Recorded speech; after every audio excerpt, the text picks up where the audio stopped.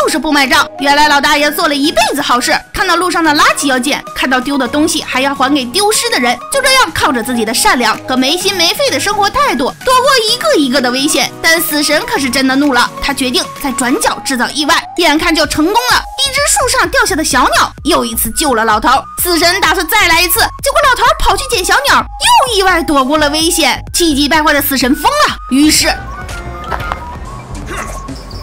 结